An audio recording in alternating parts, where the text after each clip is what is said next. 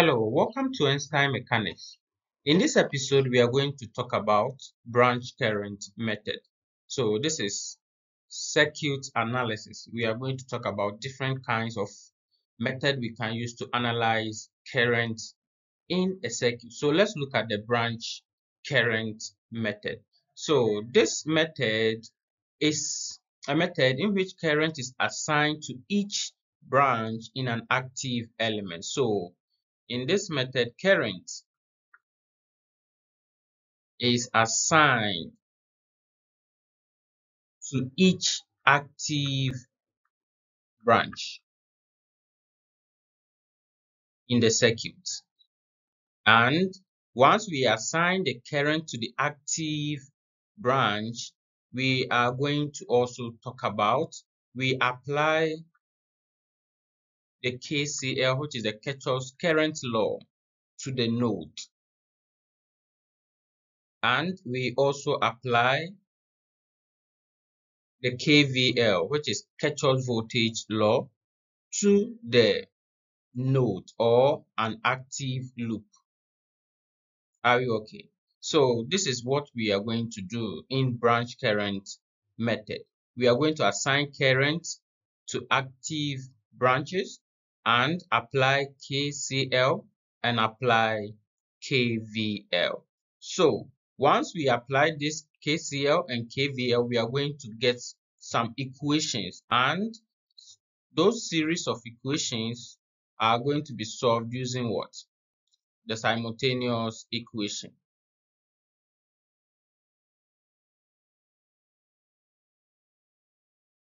Okay, so we will solve those series of equations using simultaneous equation. So let's look at a diagram. So this is our circuit and we have the active branches also there. So let's have a voltage source here. We also have one voltage source over here. So this is our circuit let's see this is 4 ohm 5 ohm. Let's make this 10 volts. We have 2 ohm and 6 volts. We are going to find the current in the circuit. Are you okay? So this is going to help us find current in each circuit. So we know that this is going to bring out a current. There is a current flow from this source so, and once they get here, there's a current flow in this part. So let's call this I1, call this I2, and call this I3. So with the branch current analysis, we are going to apply KCL, meaning at a node, talking about, let's call here node C. What happens? So we consider at node C, at node C, the current entering is equal to the current leaving. So I3 is equal to I1 plus I2. We have an equation 1. Are we okay? And we are also going to apply KVL in a loop. When we talk about a loop, that's a closed path. So A, let's say here B, C, and D. So a loop can be A, C, D, B and back to A. So we will consider this loop. Let me draw the loop again, which contains the 4 ohm resistor and the two, this voltage source and that. So this is a loop A, C, D, B, A. And this, we have the current I1 moving in this direction. And here we have the current I3. So once we have this loop drawn, we also make the voltage analysis from this loop. What do we know? We know that we have one 4 ohm here and this resistor is also 2 ohms. We know that the voltage drop in this resistor plus this resistor will be equal to the voltage 6 volts. Are we okay? So we are going to say voltage from Ohm's law, we know V is I, R. Are you okay? So, meaning voltage drop I, I, which is here, by the 4 ohm is one voltage drop plus I3 multiplying the 2 ohm is going to give us the 6 volts. So this is also using the KVL analysis for a closed loop. It's very simple. Let's solve an example and see how best we can apply this method. So example 1. Find the current in all parts of the circuit. The current flowing through all parts of the circuit and we are going to use the branch current analysis. So we have our circuit with the voltage source, we have our resistors and the direction of the current. So right away, how do we solve this question? What we have to do first is we only know the direction of the current. So first, let's assign symbols to the unknown current. So you can assign symbols so that you can identify so assign symbols to the unknown currents. So that's we are going to call the current I1, I2, and I3. Are we okay? So here I would prefer to call this current I1. So this is I1 current. Let's call this I1. I'll call this current as I2. So this is I2 and this is I3. Are we okay? So we've assigned current, which is the symbols to the unknown current.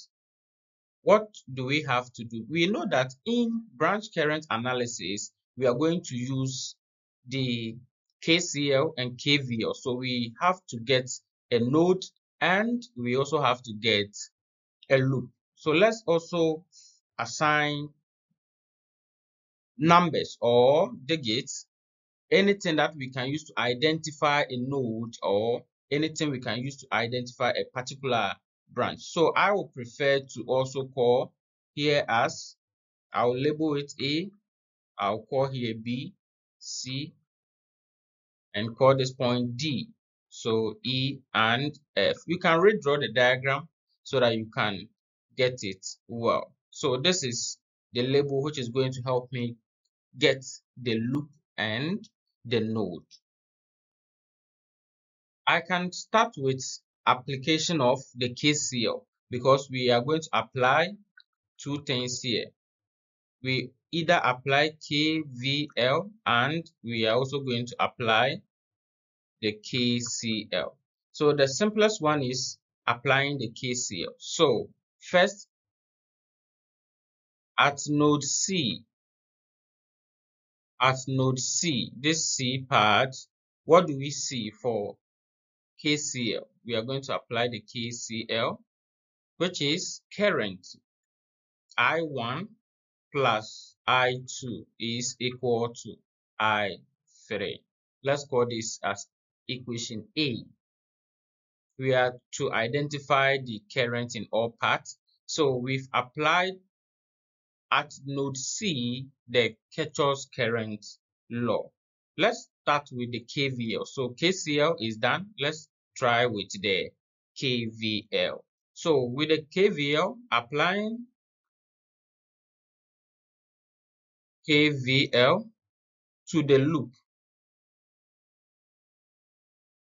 Which loop do we have to identify first? We can start with the first loop, which is loop A, B, C, F, A. So A, B, C, F, A, back to that. So we can draw a small portion of that loop which is going to be in this form. This is it. We have our 2 ohm resistor in this way. This is the 8 and this is the voltage source. And we can close it as this. So this is the loop A, B, C, F, A. So this is 2 ohm and the current here we call it I1 this current we called it I3 and this is 8 ohms. This voltage is 32. So this is a loop. We are going to apply our equation. We know that from Ohm's law, V is equal to IR, right? Which is current multiplying the resistance.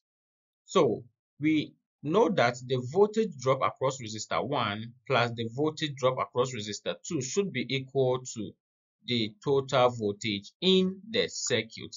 So if that is the case, let's apply it here. So I'm going to say voltage drop across resistor 1, which is I1, will be the resistance 2 multiplied by the current flowing through it, I1, plus the voltage drop across resistor 2, that's 8 multiplying the current flowing through it, that's I3, should be equal to the total voltage, which is 32. So I can simplify this to get 2I1 plus 8I3 equal to 32. Let me call this equation 1. So now we have one equation. We have another loop to make the analysis, which is loop 2. So this is loop 2. We also have to consider loop 2 to get another equation. So let's look at how loop 2 is going to look at and get it. So loop 2 is also going to be in this form. You can go back and check the diagram again. This is it we have our voltage source. Also that. There is this resistor also here and it closes. So this is the loop. So we have E, F, C, and D. So the loop is, so this is our 4 ohms and the current flowing through this part is I2. So I2 is flowing through this and this is 8 ohm and the current is I3. This is 20 volts. So the same principle that we apply to the first, we can apply it here. That the voltage drop across this resistor plus that should be equal to the total voltage in the closed loop. That's the Kirchhoff's voltage law. So I'm going to say 4 multiplying, what is the current flowing through the 4? Which is I2 plus the 8, the current flowing through it is I3 should give you 20. And when you break this down, that is 4I2 plus 8 i3 should be 20 that's my equation 2 for the second loop. So now we have the first equation written in this form which is 2i1 plus 8i3 equal to 32 that this is what equation 1 so we cannot solve this simultaneously until we make some changes. But from equation a from equation a, we saw that we can make I2 equal to I3 minus, this is I1. So I1 is I3 minus I2 this way. So let's also call this equation 3. So we can bring this equation 3 into one of the equation and make an analysis. Bringing equation 3, so you can put equation 3 into equation 1. So this part is now mathematics. The electricity part is done and the rest is mathematics. So I'm putting equation 3 into equation 1 and this is going to give me 2 the I1 which we know is I3 minus I2 plus 8I3 equal to 32. So this is going to give me 2I3 minus 2I2 plus that equal to.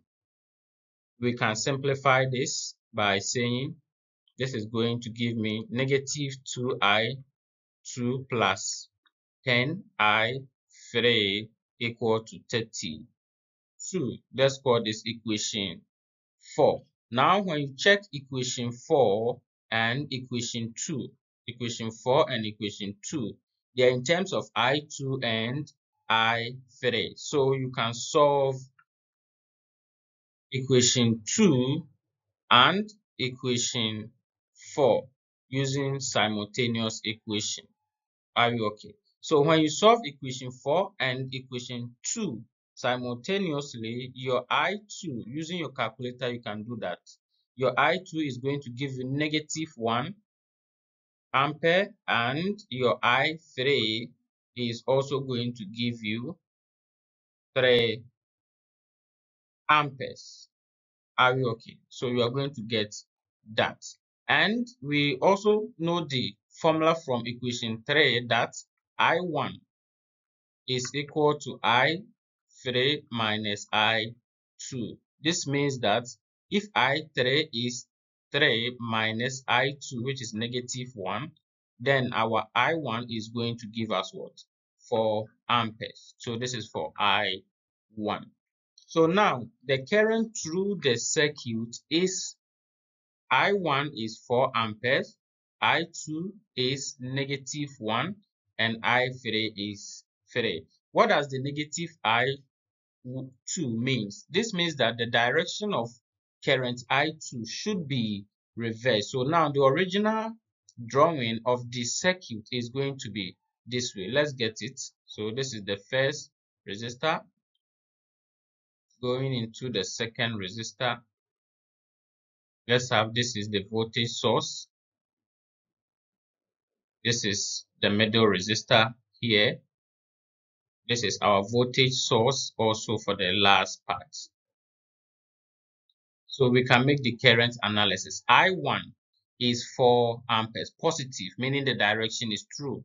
So we have I1 as 4 amperes here. I2 is negative 1.